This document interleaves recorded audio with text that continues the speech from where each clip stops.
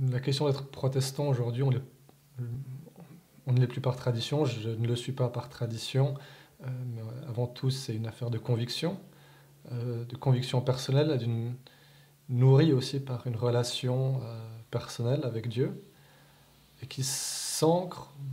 pour moi, qui, se reflète, qui se vit au quotidien, dans toutes les, relations, toutes les rencontres qu'on peut avoir, que ce soit à la que ce soit lors du culte le dimanche matin, euh, dans, un, amour de l'autre, un amour du prochain, euh, dans le désir aussi de pouvoir euh, lui témoigner quelque chose un peu de cet amour-là.